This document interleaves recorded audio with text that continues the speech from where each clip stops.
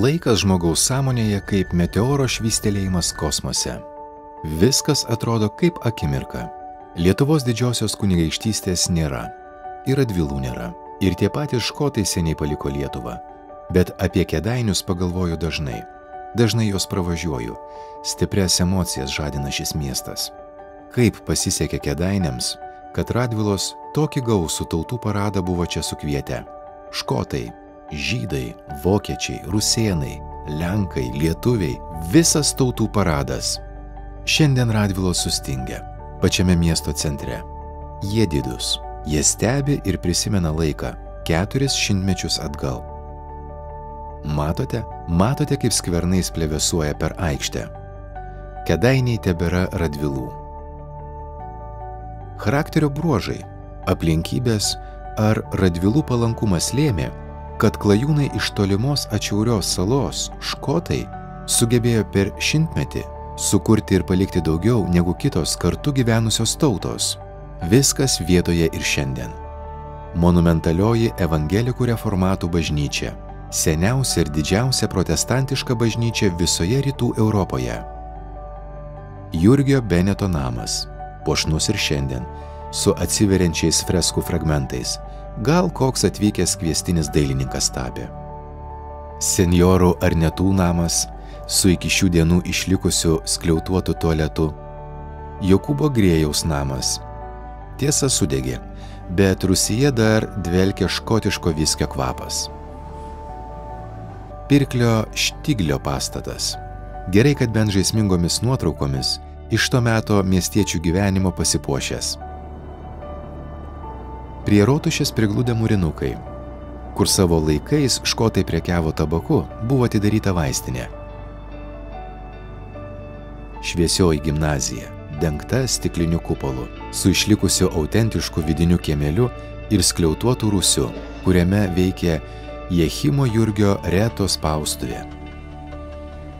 Atkurta prieplauka ir net plokščia dugni upinį laivą su būrėm, Vytinė, kėdainiečiai paleido nevėžio vandenis judinti. Vadina ją vėtra, bet greitis kaip sraigės. Dabar suprantu, kodėl kelionės trukdavo mėnesiais, o jie juk dar būdavo pilni visokių gerybių prikrauti. Sako, kėdainių pirkliai turėję apie 20 būrinių laivų. Kaip įdomu. Škotiška dvasia čia klaidžioja iki šiol. Tie nemirtingi škotai, ach, tie nemirtingi škotai, savo palikimą tebe saugo. Pamenate? Pirmoje dalyje pasakojau, kad pirmieji presbiterijonai škotai į Kedainius atvyko 17 amžiaus pradžioje, gal apie 1628 metus. Tai buvo pirkliai, taip pat samdomi kariai. Jeigu škotas būtų katalikas, jis nebūtų atradęs, reiškia, palankios terpės apsigyventi Radvilų valdose. Tikėjimo aspektas vis tiek buvo toks tarsi kaip savotiškas galimybių pasas škotams atsirasti, atsirasti šitoje erdvėje. Paso, kuris skelbtų tavo pilietybę, nebuvo. Tačiau taisyklės egzistavo ir galimybių atsirasdavo. Pavyzdžiui, buvo tokia teisinė institucija kaip miestų piliečiai. Tik miestų pilietis galėjo tapti burmistru, darbuotis vietos teisme, būti renkami į magistratą. Pozycja Szkotów y, o tyle jest szczególna, pozycja Szkotów w Kiejdanach, o tyle jest szczególna na tle innych miast Rzeczypospolitej, że mm, stali się oni wpływowymi członkami miejscowej elity. Y, to nie zawsze tak było. W Krakowie najprawdopodobniej Szkoci nie bardzo angażowali się, czy powiedzmy, no nie, nie chcieli dochodzić do najwyższych urzędów miejskich, to ich nie interesowało.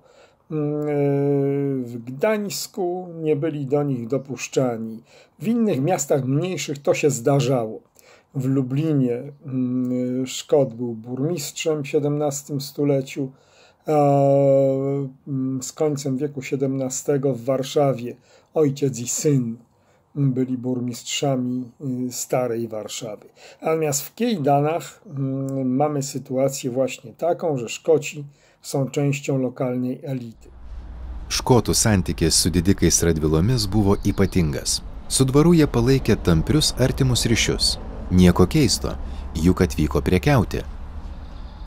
škotai beje, kėdainis, jie sako, mes ne šiaip savo atvykome, mes buvome pakviesti. Supras, kad jie yra orus pakviesti škotai, ne šiaip su atvykę ieškoti išmaldos ar ieškoti kažkokiu ten geresnių gyvenimus, juos pakvieti kunigaikštis. Nemanau, kad juos ten kažkaip protegavo dėl tautybės. Tiesiog kalbėjo pinigai. Pas Radilas viskas paprasta. Moki pinigus ir tu, tu esi. Tai ir čia, bet centrinėje miesto dalyje, mokesčiai 2-3 kartus buvo didesni negu kitose vietose, pavyzdžiui, mokėti. Jie galėjo savo tai leisti, tai vadinasi, buvo tikrai verslus ir tokie kaip Jurgis Benetas, tai iš viso buvo fantastiški žmonės, kurie ir verslus plėtojo, ir, ir, ir, ir, ir kariuomenė rėmė, ir, ir buvo surinkę kariuomenės pulką, surinkęs į Hotino mūšį 17 amžiaus antroji pusėje. Radvilos kvietė, privilegijas teikė ne tik pirkliams. Svetingai kedainiuose buvo priimami ir nagingi amatininkai specialistai gydytojai, inžinieriai, į tarnybą savo privačioje kariuomenėje viliojo ir samdė kariškius. Viduramžių škotai garsėjo savo ginkluotę karinę ištvermę. Buvo tvirto sudėjimo, juos vertino visa Europa. Istorikai tikri, kad vyko ne tik škotų miestiečių, bet ir škotų kareivių emigracija. Daugelis škotų Lietuvoje ne tik pirkliais buvo ar Lenkijoje, bet jie taip pat darydavo puikias kariškių karjeras buvo puikūs kariškiai. Turėdavo daug karo įgūdžių, savo klanuose tarpusavio kovose ir panašiai gydavo, reiškia, buvo stiprus kalniečiai ir, ir panašiai, ir jie buvo labai paklausus kariai ir atskiri škotų daliniai susiformuodavo, škotų karininkija buvo labai paklausi tiek Rusijoje, tiek Lenkijoje, tiek Lietuvoje, tiek Švedijoje, tiek Prancūzijoje. Kedainių savininkai suprato, kad miesto potencialą gali stiprinti didėjančios nuolat čia gyvenančių miestiečių gretos. Jūsų prakilnybė Jonušai Radvila, gal teiktumėtės paimti tą 1632 metų dokumentą ir perskaityti nurodymus magistratui dėl svetimtaučių. Įsakau, rūpintis, kad atvykstantis į kėdainius pirkliai apsigyventų mieste, o su tais, kurie to nenori, elgtis pagal kunigaikščių nurodymus. Škotai ir kiti svetimtaučiai, kurie pagal jiems kunigaikščių duotus apsauginius raštus save tarnais laiko, neturi kenkti kunigaikščio pavaldiniams. Yra išsusokinėtųjų, kurie už kapą grašių trobelę išsinuomoja, ar už kelias kapas kokią pirtelę nusipirkę, nori paversti savo posesiją. Magistratas su davaru turi rūpintis, kad pirkliai pagal turimą turtą nusipirktų namą ar pirktame sklype tvarkingą namą pasistatytų. Radvilos buvo patenkinti škotais, neslėpė savo meilės Kalvino sėkėjams, nes ir patys buvo evangelikai reformatai suteikė galimybę turėti savo atstovus miesto valdžioje, bet iš kitos pusės ir mokesčiais nemažais apdėjo. Nes iš ko tu žiūrės kaip į, į pelną nešančią bendruomenę, bet, bet ne, ne kažkokią tai tokią, kurią reikėtų remti, saugoti, remti, ta prasme, m, kuriai simpatizuotų dėl kitų motyvų, tai religinių motyvų. Iš radvilų pusės yra siekis pritraukti žmonės, kurie turėtų pinigo, turėtų kontaktus ir jie galėtų mokėti jam mokesčius ir, ir tokiu būdu jis pasiturtėja, stiprėja ir jo pajamos auga. Jo lab, kad evangelikai reformatai jam bus lojalūs. Gyventojai, kurie, kurie sups daugeliu atveju katalikai, bet jie jam bus ištikimi, lojalūs valdiniai. Tačiau, kad ir kokie škotai lojalūs buvo, Kunigaikščiai nesiuošė jiems pusės miesto kaip kokios karalystės dovanoti. Privilegijos toks dalykas, kurį reikia užsitarnauti. Pavyzdžiui, Jurgis Benetas buvo atgavęs tokią išskirtinę privilegiją savo namui. Dėl to, kad jis pastatė puikų, prabangų namą ir papuošė tokiu būdu Kidainių miestą, Radvilų Kidainių miestą, buvo atleistas, atleistas nuo mokesčių šitas namas. Labai gražus žestas. Jis pastato prabangų namą, taip, kuris puošia miestą, tai yra e, mūrinis namas, dviejų aukštų namas su rusiais, su, su, su vyriausiais architektūriniais papuošimais miestų centre, Už tai yra atleidžiamas tas namas nuo žemės mokesčio kaip po tokio. Na, va, tai tu man, aš tau. Taip škotai tapo neatsiejama kedainių dalimi. Kūrėsi lengvai, integravosi lengvai, buvo sugyvenami. Netruko sklypų geriausiose miesto vietose - didžiojoje, senojoje, arklių, kur dabar Radvilų gatvėse, didžiojoje rinkoje šalia rotušės atsidurti stropių škotų rankose.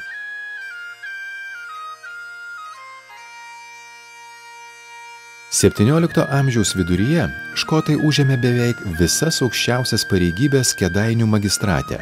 Ėjo burmistro, išdininko pareigas - Gordonai, Arnetai, Simpsonai, Benetai. Tai ryškiausios įtakingiausių škotiškų giminių pirklių pavardės Kedainiuose. Škotai pirkliai tai nėra labai stambus pirkliai, tai pakankamai smulkus pirkliai, bet kadangi jie turi vieną ar kitą kapitalą, tas kapitalas atneštas į Lietuvą, kur trūksta grinų pinigų, nuolatinis stygius grinų pinigų, žemės ūkio produktų yra, miško medžiagos yra, kitų dalykų yra, bet nėra grino pinigo. Tai škotai, kurie atsineša, kad ir nedidelį kapitalą, geba investuoti į finansus, geba investuoti į pirklio verslą, pirkimas, pardavimas, į žemės valdas ir iš to uždirbti ir čia e, gauti tos sotesnės duonos. Radvilų dvarui pinigų reikėjo reikėjo samdyti kariuomenę. Tiek Kristupas II, tiek Jonušas buvo Lietuvos didieji etmonai. Reikėjo išlaikyti evangelikų reformatų dvasininkus, mokytojus. Reikėjo šelbti prieglaudas, finansuoti mokslus vakarų Europos protestantiškose universitetuose. Reikėjo leisti knygas, kas ir buvo daroma kedainiuose, įkūrus spaustuvę. Kur jau kur, bet verslo klausimais Radvilos buvo išmintingi. Savo privačiame mieste jie tvarkėsi pagal savo poreikius ir interesus. Prekyba, a, jinai nebuvo pagrindinis verslas tuo metu ekonomikoje. Tačiau jisai buvo susijęs su pagrindiniu ekonomikos verslu, tai yra žemės ūkiu. Tai yra žemės ūkio produkcija, kuri pagrindė vandens artėjomis nemonų. Škotai iš esmės e, tą prekybą nemonų su karaliaučiumi ir E, stipriai buvo užvaldę. Didikams turėti tokias, tokius pirklius savo miestuose buvo nepaprastai palanku. Pagrindinis priekybos kelias buvo upės. Škotų pirkliai vytinėmis nevėžių keliaudavo iki Nemono. Toliau Nemonu kuršių mariomis pasiekdavo kitas šalis. Javai, linai, kanapės, medus, derva, mediena, kailiai, oda, firminiai kedainių batai – Visą tai vežė į Prūsiją, Tilžę, Karaliaučių, Rygą, Gdanską, o tai parveždavo stiklą, druską, geležį, prieskonius, arbatą, vyną, tabaką, šilką, gelumbę, szokoladę, egzotinius vaisius, tokia ta prekyba.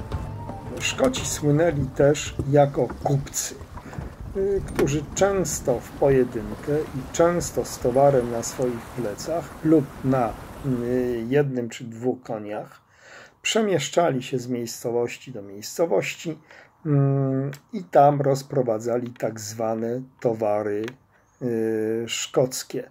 A y, były to y, różne produkty, przede wszystkim galanteria, były to i towary metalowe, narzędzia, broń praktycznie handlowali wszystkim, y, co przynosiło zysk, nie wykluczając żywności. Prekiaudami Europoje škotai turėjo ryšius ir tevinainių pasitikėjimą, tad pinigas buvo skalsesnis. Sukaupę finansinių atsargų, škotai radviloms ar kitiems didikams skolindavo pinigų ir už tai gaudavo teisę valdyti jų žemės, dvarus, palivarkus, ne visi skolas sugražindavo tad kai kurie škotai tapdavo dideliais žemvaldžiais. Palaukite, kas čia man petint apšnoja. A, kur buvote gerbiamas serė pradingęs? Atsimenate? Čia Livingstonas. Pirmoje filmo dalyje jis ten aktyviai savo nuomonę reiškė. Ir kągi jūs šį kartą paporinsite? Šiaip jau geriau būti bajoru, ne škotu. Bajorams tilto mokesčio mokėti nereikia. Vat mano tautietis Jurgis Benetas gavo bajorystę ir netgi karaliaus sekretoriaus titulą. E. Na, apie Jurgį Benetą aš jau daug pasakojau. Tegul jis dabar savo kambarėlį ar kur kitur ramiai dirba ar toliau karjerą daro. Juolab, kad škotų rankų kedainėms reikia. Per vieną naktį tik studentai gali išmokti visus dalykus. Tuo tarpu škotai ir per kelis šimtmečius negalėjo padaryti revoliucijų nei priekyboje, nei miestiečių gyvenime. Nors ir nebuvo ryškiausios to meto verslo žvaigždės, bet jų pastangos buvo matomos ir vertinamos. Yra labai įdomus 1726 metų miesto prašymas. Hugienotas prancūzas vyksta pro Lietuvą užsuka į Kedainius. Nu tai sako, čia miestas pakankamai gerai tvarkomas, čia vat, karas nesiniai praėjo, bet jis atstatytas. Galima spėti, kad buvo dar gražesnis, bažnyčios gerai sutvarkytos. Ant Kedainių rotušės toks vas užrašas, kaip ant karaliaučiaus rotušės lotynų kalba. Nu viskas tvarkojai. Viskas vyksta, todėl kad dar yra škotai, todėl kad yra dar evangelikai reformatai, todėl kad dar miestas turi kažkokį stuburą. Pirklio duona nebuvo dangaus mana, bet škotams leido sukaupti turtus. Tuo tarpu žydai irgi verslus naujieji kedainių gyventojai. Jie rado kitų pelningų nišų. Iš Kristupo Radvilos jie sugebėjo įsinuomoti muitinę ant nevėžio tilto. Matau ir vėl Livingstonai norite pasisakyti. Ar jis jums dar nenusibodo? Na, kalbėkite. Žydai mėgsta girtis, jog visi miestai, kuriuose jie įsikūrė, klesti ir duoda didelės pajamas jų savininkams. Gi iš tikrųjų sakau jums, tie žydai labai sukti ir iš tiesų nenori mokėti jokių mokesčių. Maža to, dėka kunigaikščio suteiktų privilegijų, prasikaltusius miestų žydus teisti gali tik dvaras. Oi nedaug dievė, jeigu žydai ir toliau bus mokesčių rinkėjais ir valdos nuomininkais. Oho, pasirodo ir škotai mėgsta papurkštauti. Tie santykiai tarp visų kedainiuose apsigyvenusių tautų ir konfesijų buvo panašus. Tai taip pat buvo bendro atvykėlių iš skirtingų šalių gyvenimo dalis.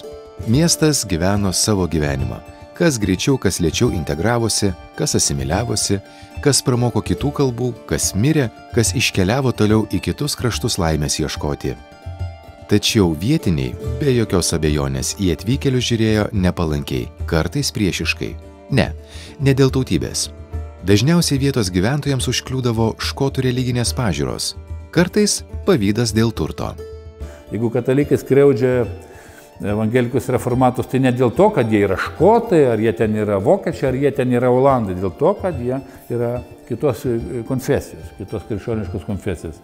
Aišku, kai kurie bando spekuliuoti, nu, kaip tas Stanelevičius Kidainėtis sako, kad škotai skriaudžia vietinius. Jie susibūrė į grupę, patys įsitvirtinę magistrate, priima savo palankius teisminius sprendimus ir vietos lietuvių nacija skriaudžia. Štai šaltinis pasakoja, kaip škotų miestietė Henrika Simpsonova, eidama į bažnyčios pamaldas, kažko susiginčia su kėdainių lietuvė miestietė ir dvi moteris susimuša. 1634 metais. Ir kėdainių bažnyčios sesija svarsto, kaip škotų miestietė reformatė susimušė su kita parapijietė. O pavyzdžiui, Kiukas.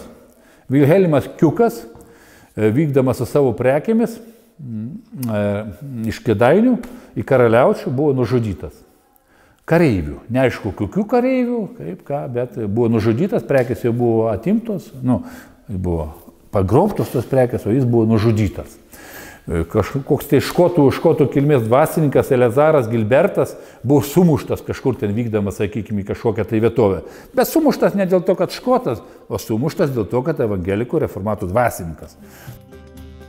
Šarlatanų, banditų buvo gajų visais laikais.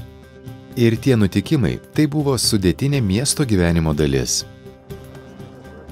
Ar jums neįdomu, kokia kalba sveikinosi kedainių miestiečiai 17-18 amžiuje sutikę vieni kitus? Nuraminsiu. Šiandien nekalbėtume lietuviškai, jeigu tie miestiečiai ir bajorai anuo meto etninėje Lietuvoje lietuvių kalbos nebūtų mokėję. Dažnai tai buvo jų gimtoji kalba, bet kalbėti lietuviškai buvo prastuomenės ženklas, bent jau viešumoje. Lietuviškai kalbėjo daug valstiečių ir dvasininkų, kurie turėjo savo ganytojišką darbą dirbti lietuviškoje aplinkoje. Galime didžiuotis, šaltiniai tvirtina, kad biržų dubingių kunigaikščiai Radvilos mokėjo lietuvių kalbą. Bet savo kalba, kultūriniam nuostatom, be jokios abejonės jie buvo lieka kalbiai. Politiškai, nedaug dievė.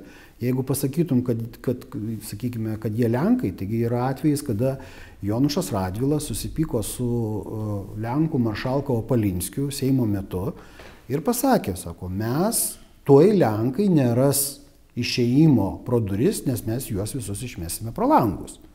Pasakė lietuvis Lenkui gražia, švaria, tikra Lenkų kalba. Tai, va, tai, tai nebuvo Radvilos kažkokie e, litonofilai, tiesiog čia esanti situacija miesto bendruomeniai ir, ir apylinkėse, aš manau, juos vertė būti tokiais prilietuviškais. Lenką atskirti tais laikais nuo sulenkėjusio lietuvio yra, yra netaip lengva. Reikia nepamiršti to meto Lietuvos įstatymų, kad nuo tada, kai 16 amžiaus Lietuvos statutai draudė svetimšaliams įsigyti žemės nuosavybę Lietuvoje, tai čia yra pagrindinė kliūtis, o, o žemė yra pats svarbiausias turtas ir pagrindinis pajamų šaltinis, todėl Lenkams įsigyti politinės pareigybės valdovo dvare arba žemės faktiškai buvo neįmanoma. Todėl tas lenkiškas veiksnys, jis čia plinta per, na, mišres, mišres santokas. Lietuvos didžioji kunigaikštystė. Atsimenate tą žemėlapį, kuris kelia pasididžiavimą kiekvienam lietuviui? Nuo Baltijos iki Jodosios jūros. Savo klėstėjimo metais Lietuvos didžioji kunigaikštystė valdė didelę dalį Rusijos ir Baltarusijos žemių. Čia gyveno daug rusėnų, Didelėje teritorijoje naudota senoji slavų arba gudų kalba. Randame daug dokumentų parašytų kirilica. Susikūrus abiejų tautų respublikai, į visas gyvenimo sritis ir į miestiečių namus vis sparčiau skverbėsi lenkų kalba. 16 antroji pusė, 17 amžiaus pirmoji pusė lenkų kalba išsikovoja tas, tas dominuojančias pozicijas, nes Lietuvos didžioji kunigaikštystė ir taip pat ir lietuviškose etinėse žemėse, vat, nu, Vilniui, Kaune, tampa viešo gyvenimo kalba. 367 istoriografijos ir bažnyčios dokumentų duomenys. Tiek kėdainiuose buvo škotų, turėjusių škotiškas pavardės. Ar tiek jų ir kalbėjo savo gimtają kalbą? Škotų kalbinė situacija jau 17 amžiuje buvo gana sudėtinga. Tai yra gėlų kalba, tai vieni kalbėjo škotų kalbą, o kiti perimdavo anglų kalbą. Perimdavo anglų kalbą, tai arba kalbėdavo ir taip, ir taip. Na ir be bejonės kalbėdavo ir vietos kalbomis išmokdavo. Yra išlikę nemažai jų laiškų. Tie laiškai rašyti tuo metu na vyraujančia rašte lenkų kalba. Yra su vairiomis klaidomis, bet yra puikia lenkų kalba parašytų laiškų. Ir daugybė kidainiečių, burmistrų, pirklių laiškų yra išlikusių, Jie taip puikiai surašyti. Ar jie kalbėjo lietuviškai? Nebejotinai, kad kalbėjo. Škotai stengiasi išlaikyti savo kalbą. Giminiavosi tarpusavį, solidarizavosi, krikštatėvius rinko iš savo tautiečių tarpo. Tačiau miesto, į kurį vyko kaip į savo svajonių žemę, įtaka buvo pakankamai stipri. Jeigu žmona yra lenkaitė, graži, tai po to vaikai jau mažiausiai, mažų mažiausiai dvikalbiai. Ir, ir tai yra vis tiek motinos kalba, yra ta kalba, kurią vaikai pirmiausiai perima. O su škotų ta imigracija, tai dar ta bėda buvo škotams, kad ten e, e, dviems vyrams viena moteris arba dar mažiau moterų buvo. Nuo Škotijos, kurios krantus skalauja Šiaurės jūra, iki Baltijos jūros atstumas didelis. Jis nepadės išlaikyti škotiškumo. Šeimos Naujoje šalyje sukurtos šeimos, jos savaime išspręs kalbinio identiteto klausimus. Kalbant apie jų šeimas, tai vėlgi mm, galima spėti, kad vis dėlto dauguma pradžioje jų atvykdavo vieni vyrai, ir žmonas susiras, susirasdavo vietinės, vadinasi, lietuvaitės arba, na, sakykime, lenkaitės, lenkiškai kalbančias, čia vėlgi yra toks e, atviras klausimas, tačiau vietinės, sakykime, nes iš to, kokios mergautinės pavardės moterų, vardai kokie. Lietuvos didžioji kunigaikštystė yra gana įvairi, bet jeigu kalbame apie rašto kalbą, apie teismo dokumentų kalbą, apie verslo dokumentų kalbą, tai daugelį atveju tai yra lenkų kalba jau 17-18 amžiuje. Ir iš tiesų e, tuo metu rašto kalboje atvykėlių, ar tai vokiečių, ar tai olandų, ar tai italų, ar tai škotų pavardės yra slavinamos arba konkrečiai kalbant lenkinamos. Jeigu kalbame apie vyrą, apie tėvą, apie sūnų, taip, Evič Ovič pridedama. Jeigu kalbam apie dukrą, tai Ovna, tokia pridedama, taip, o jeigu kalbam apie ištekėjusią moterį, Ova.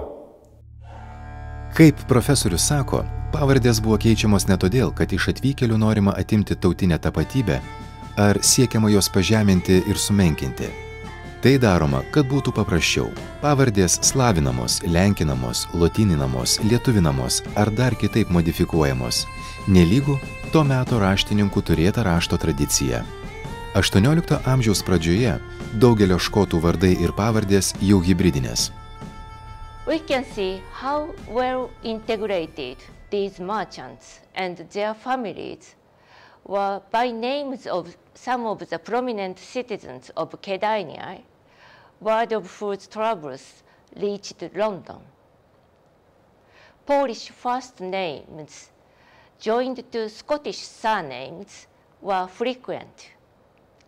Andrzej Leach, William Halliburton, Jacob Gray, Jacob Cooper, Yeji Forsyth, Piotr High. You must excuse my pronunciation. Gyvendami kėdainiuose negalime būti vien tik škotais.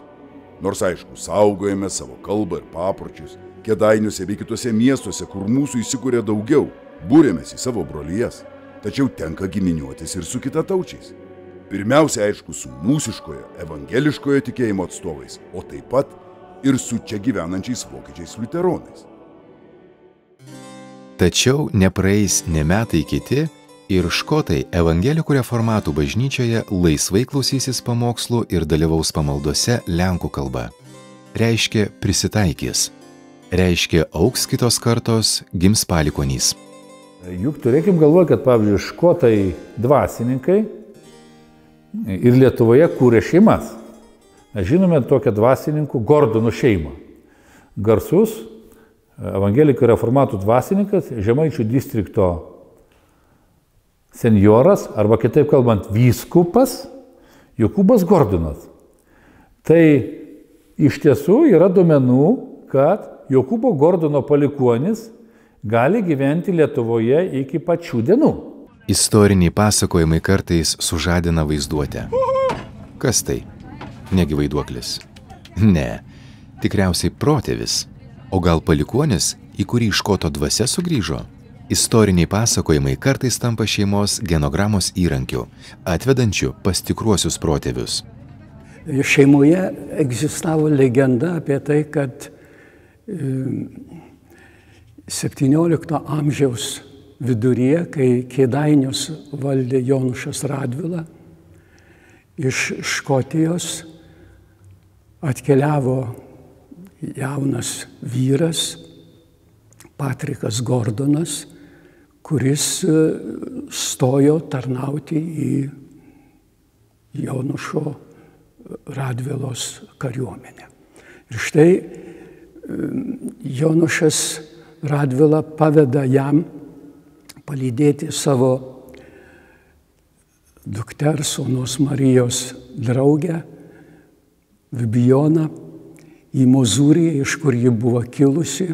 Ir šitas jaunas škotas, tas Patrikas Gordonas pagal šeimos tą legendą, jisai įsimylė ir net užmiršta Škotijoje paliktą savo sužadėtinę ir tokiu būdu na, atsiranda ta šaka, apie kurią aš kalbu, kaip apie Teofilės Gordonaitės vėliau tapusios Urbanavičiane šaką. Rašytojas Vytautas Martinkus pasakoja apie savo istorinį romaną Tavo bažnyčios rusys. Jame suguldyta jo žmonos giminės istorija. Tikra istorija, tik literatūriškai pagražinta. Šios šeimos šaknis siekia škotų laikus kėdainiuose. Sagoje kelių amžių, kelių tautų gyvenimas susipina į vienos giminės istoriją. Bet man labai įdomu pažymėti, kad yra. Ir kiek aš galiu spręsti, tiek, kiek man pasakojo e, rašytojo Vytauto Martinkaus giminaitė, kad iš tiesų gali būti išlikus Lietuvoje Gordonų giminės palikonių. Čia jau galėtų, reikėtų panalizuoti genealoginius dokumentus, ar tos sąsojos yra aiškios, nekeliančios abejonių, tačiau tikrai taip gali būti. Literatūros ir istorijos ta sąsaja arba ta sandrauga, jie yra labai tokia prasminga, jie, jie padeda ne tik sužinoti, bet ir pajausti, kaip minėjau, atverti kažkokius tai dalykus, kurių kurių viena istorija negali mums pasakyti. Na, o istorija literatūrai padeda užpildyti tas baltas dėmes, apie kurias aš prasitariau. Tarkim, aš dabar nežinau, kaip, kaip ta Gordonų šeima atsirado, bet gal po, po 50 ar 100 metų gal bus atrasti nauji dokumentai. Kėdainių evangelikų reformatų bendruomenė pati didžiausia Lietuvos didžiojoje kunigaikštystėje ir turbūt viena iš didesnių abiejų tautų Respublikoje. Kėdainiuose apsigyvenę škotai nestatė savo bažnyčių. Jie tapo vietos evangelikų reformatų bendruomenės dalimi. Pamenate, sakiau, kad Kėdainiuose vienu metu veikė net dvi evangelikų reformatų bažnyčios - didžioji ir mažoji arba lenkiška ir lietuviška. Didžiojoje rinkoje tebestovi daugiau kaip pusketvirto šimto metų skaičiuojanti naujoji monumentalioji Kalvinų bažnyčia. Jie iki šiol glaudžia Radvilų giminės sarkofagus. Pažvelkite, kokia renesanso didybė, koks nuostabus architektų darbas, koks įstabus senamešio akcentas ir dominantė. Negaliu patikėti, kad keletas dešimtmečių atgal šioje didingoje bažnyčioje buvo sporto salė. Ar tokius pasakojimus girdėjo čia sportuojantis vaikai, kaip mūsų herojaus Roberto Livingstono žmona pasakoja? Noriu pasidžiaugti. Mūsų didžioji pagoda, didžioji bažnyčia, mūsų antrieji namai. Čia mes melžiamės, klausomės viešpaties žodžio, šloviname jį. Daugelis evangelikų norėtų būti palaidoti bažnyčios rusiuose arba kapinėse šalia bažnyčios. Mes, škotai presbiterionai, esame evangelikų reformatų bendratikiai, todėl visuomet rūpinamės šiais Dievo namais. Čia laidomi ir kai kurie mūsiškiai, pavyzdžiui, pasiturintis tautietis Jurgis Benetas, bažnyčios Rusija netgi išsimūrijo atskirą šeimos kriptą. Vartydami magistrato dokumentus ar bažnyčios knygos įrašus, pamatytumėte, jog tarp kitų garbingų miestiečių tikrai yra nemažai škotų. Ši mūsų bažnyčia funduota kunigaikščio Kristofo Radvilos ir jo žmonos Unos, kurią vadiname naująją. Yra gražiausias statinys mūsų mieste. Aukšto mūro, su didelė varpinė, storomis sienomis, panašiai tvirtovė. Pirmą kartą ją pamačiau, kai atvykau čia tarnauti ir sakyti lietuviškus pamokslus. Kaip visi protestantai, Radvilos laikėsi principo, kad žmonės turi melstis savo gimtają kalbą. Jūsų malonybė. Dėkui už tokią dosnę dovaną evangelikams reformatams. Esame pasiruošę išklausyti tolesnius jūsų pareidimus. Kėdainiuose visą laiką turi būti du kunigai kurių vienas pamaldas laikytų lietuviškai, kitas lenkiškai ir sugebantys dėstyti tikybą mokykloje. Taip pat turi būti lietuviškai mokantis katechistas. Kedainių mokykloje turi būti mokytas ir dievo baimingas rektorius ir trys tikri evangelikai pagalbininkai. Šiam parėdimui įgyvendinti šalia Kalvinų bažnyčios didžiojoje rinkoje už 5000 auksinių iš škotų pirklio Šaflerio buvo nupirktas namas reformatų mokyklai. Vėliau ji taps šviesiaja gimnazija ir įsikurs didžiojoje gatvėje. 1637 metai. Kristupo antro Radvilos valdomi kėdainiai. Ir staiga iš, e, gauna bendruomenė reformatų žinę, kad atvyksta škotų pamokslininkas. Paprastai pamokslininkai vietos buvo lietuviai arba lenkai, reformatų. Atvyksta škotų pamokslininkas, nes mat škotai, matot, užsimanė pamaldų savo gimtają kalbą.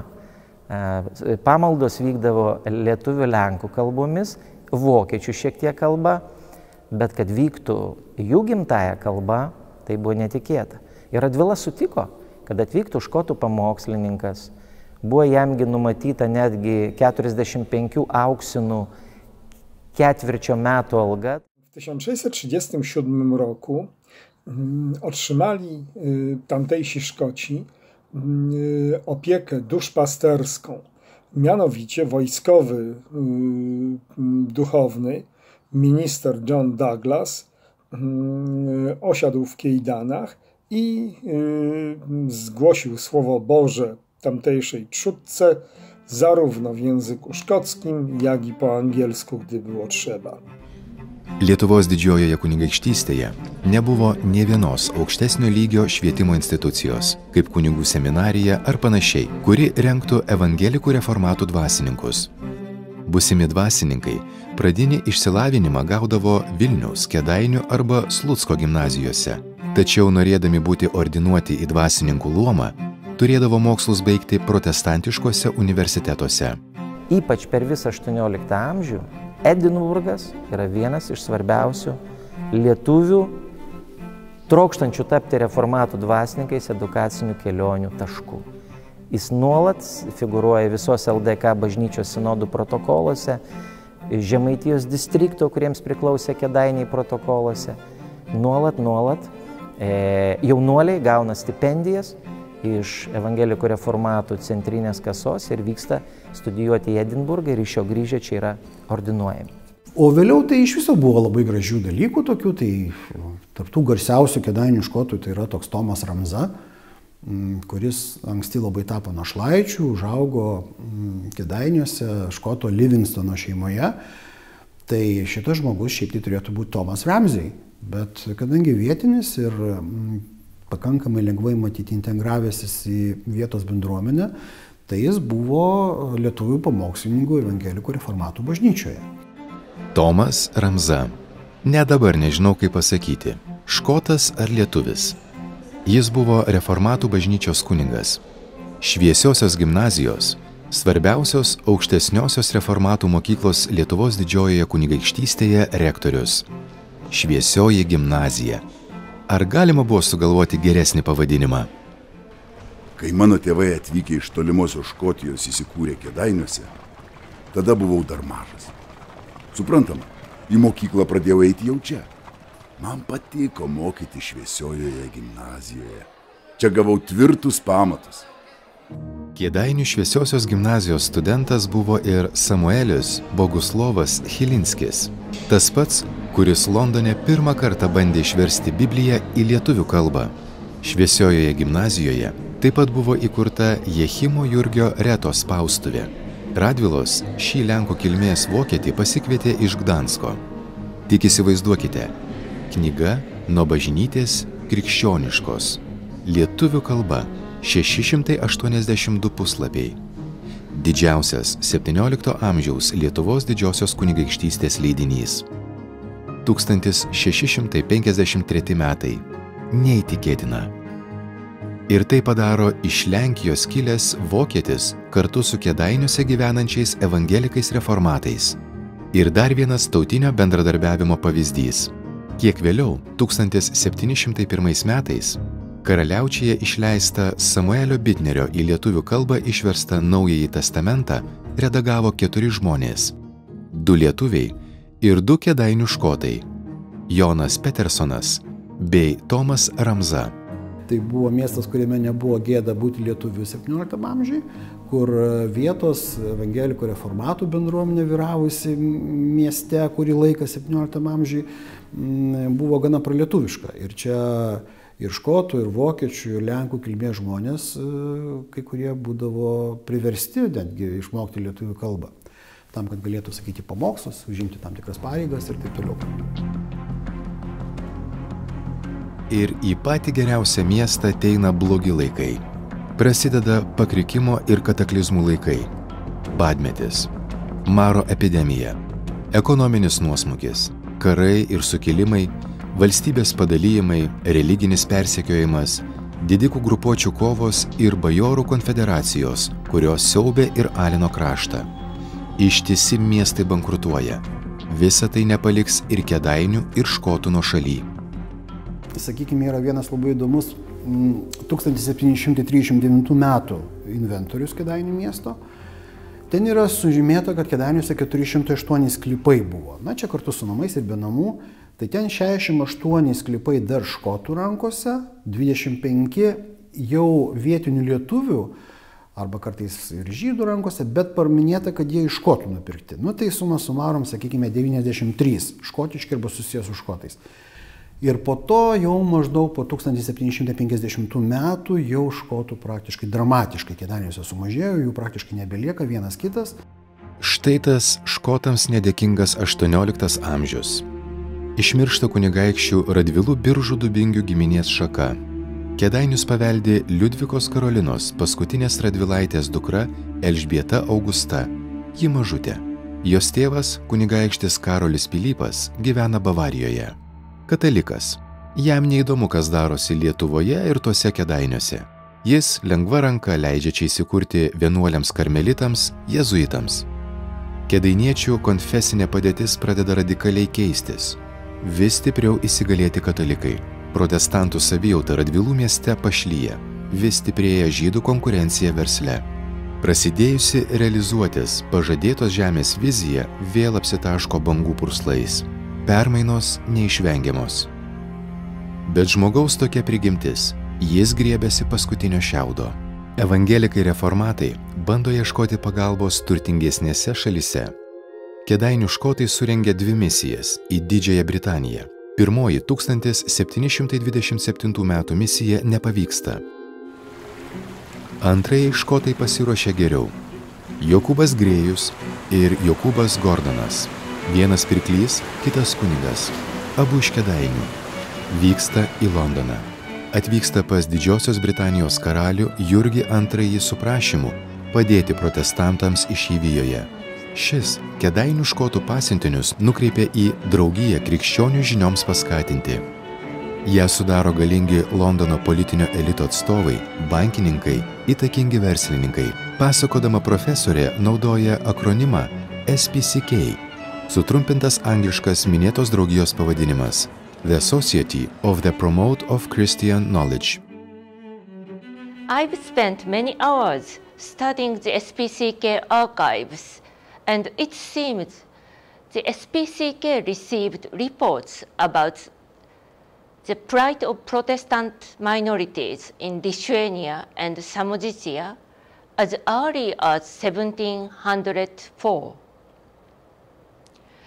They also had some corresponding members in Danzig, Gdansk.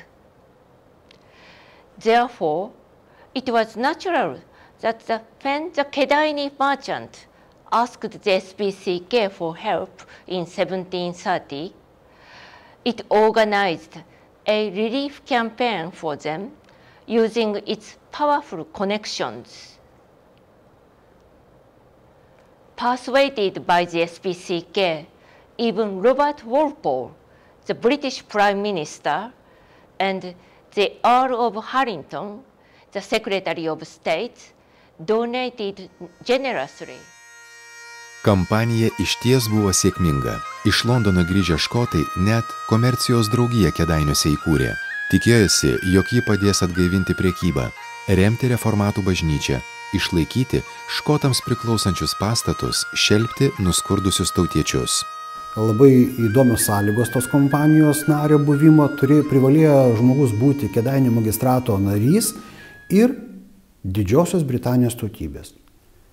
Nacionis Magna Britanija latiniškai. Čia vėlgi paaiškinsiu tokį, galbūt kažkam gali būti neaišku, nes jeigu 17 amžiuje, tai mūsų tie škotai labai dažnai jie pabrėždavo, kad ex gentes kotika, Mm, ta prasme, jie pabrėždavo savo škotiškumą. O čiagi jau yra 18 amžiaus pradžia, o po 1707 metų, kada Anglija ir Škotija sudarė galutinę uniją ir susijungė galutinai į Didžiąją Britaniją, na, mūsų škotai pasidarė lojalūs Didžiosios Britanijos piliečiai. Įkurtoji komercijos draugija škotų kedainiuose neišgelbėjo. Taip kaip ir Didžiojoje Britanijoje lengvai gauti pinigai. Jie buvo išvaistyti, panaudoti ne pagal paskirtį. O dar ir Jokūbo Grėjaus namo Rusija kilo gaisras, sudegė didelė dalis už paukotus pinigus nupirktų prekių. 18 amžiaus pradžia - škotų diasporos pabaigos pradžia. Tai šie 17 amžiaus vidurys jau prasideda tos didžiosios netolerancijos bangos, E, kurios galiausiai jau iš Lietuvos kaip tolerantiškos valstybės padaro gana, gana tamsi, gana uždara, gana, gana tokia nepatrauklė evangelikams reformatams e, e, valstybė ir ta škotų migracija čia sumažėjo. Tai atsitiks apie 1750-uosius. Reformatai škotai išparduos savo turtą ir išvyks iš miesto prie nevėžio, galbūt į Klaipedą, Rygą ar Karaliaučių, ten, kur galės toliau saugiai pirkliauti. Tuo metu dar stipriau auks škotų emigracija ir į naująjį pasaulį - Ameriką. Jeigu kalbam apie škotus, škotams, reformatams, menonitams ir kitiems protestantiškos Lietuvos didžiosios kunigaikštystės valdos buvo lygiai tokia pati pažadėta žemė, kaip, pavyzdžiui, anglų puritonams, kurie bėga iš anglikoniškos Anglijos, plaukia per Atlantą, išsilaipina Šiaurės Amerikoje ir visą tą kraštą pavadina taip pat mūsų kananas, mūsų pažadėta Dievo duota žemė. Tai va čia yra žmonių, kurie ieško savo tikėjimo išpažinimo laisvės, krašto, kuriame galėtų tai laisvai daryti. Ir be abejo, ta pažadėto žemės metafora čia yra labai tinkama. Bet gyvenimas sukasi ir jis turi savo ratą. Kai nelieka vienų, atsiranda kiti. Jeigu škotai išnyksta, tai atvyksta vokiečiai. Didelis skaičius vokiečių, didelė demografinis, demografinis sprogimas vyksta Vokietijoje 18 amžiuje, tai yra luteroniškos šeimos, turinčios daug vaikų, žemės valdų trūksta, trūksta, e, tiesiog erdvės trūksta ir vyksta tas vadinamas vykimas į rytus, į Rusiją, į Lenkiją, į Lietuvą, į kitas teritorijas. Galbūt tas miestas galėjo kalbėti bet kokią kalbą, bet jis buvo lietuvių nacijos, lietuvių tautos miestas. Čia buvo Lietuva. Nesvarbu, ar kalbantį lietuviškai, ar lenkiškai, ar gudiškai, bet Lietuva. Dar tuomet po Liudvikos Karolinos Radvilaitės mirties šviesiosios gimnazijos rektoriaus škoto Tomo Ramzos našlė Kembridžo universitetui Anglijoje padovanojo Naująjį Testamentą išleistą lietuvių kalba ir batus. Kad padovanojo knygą, tai suprantama, tai yra tarsi na, parodimas, kad, kad Dievas yra vienas, kad jis garbinamas yra vairiomis kalbomis, kad protestantai garbina Dievą ir lietuvių kalbą, tai yra tikrai toks, na, tokio pobūdžio, tokia motivacija galėtų būti. Bet kodėl batai? O batai pasirodo čia vėlgi Ir aš sprendžiu, kad ta našlė turėjo būti į Škotę galbūt, arba iš, iš Didžiosios Britanijos. Batai pagal anglų apsauginę, pagal apsauginę magiją, batai yra, yra vadinamieji lucky shoes, tai yra laimingi batai. Galbūt iš kėdainių škotės linkėjimas turėjo dvigubą prasme. Gal taip jį linkėjo laimės visiems savo tautiečiams, ketinantiems po kelių amžių klajonių grįžti į savo gimtus kraštus. Magiški batai vietoj bangų akmenukų su skylute viduryje. Koks skirtumas kas? Svarbiausia, kad laimę neštų. Kiekviena pradžia turi kažkokią pabaigą, o ta pabaiga vėl yra kažkokios naujos pradžios pradžia.